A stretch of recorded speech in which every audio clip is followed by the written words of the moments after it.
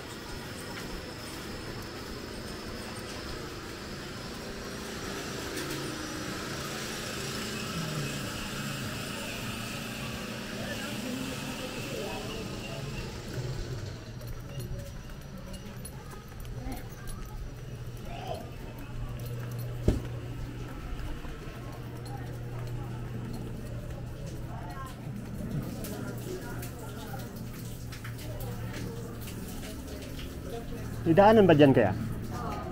Palabas doon po. Vlog lang ya.